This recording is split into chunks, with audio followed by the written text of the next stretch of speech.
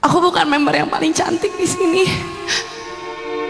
Aku bukan member yang paling hebat. Aku bukan member yang paling jago dalam semua hal. Tapi aku punya hati yang tulus supaya buat ngelakuin yang terbaik buat kalian semua.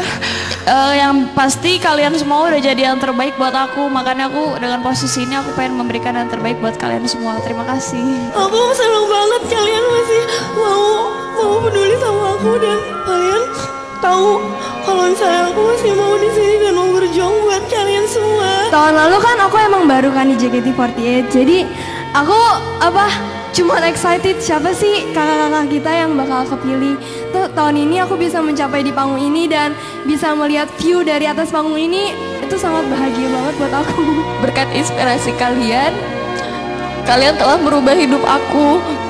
Dulu aku selalu menutup diri, tapi sekarang pelan-pelan karena aku tahu kalian sayang sama aku, aku mulai membuka diri, aku mulai yakin sama diri aku sendiri. Terima kasih semuanya udah sama-sama fokus untuk menentukan hal yang penting.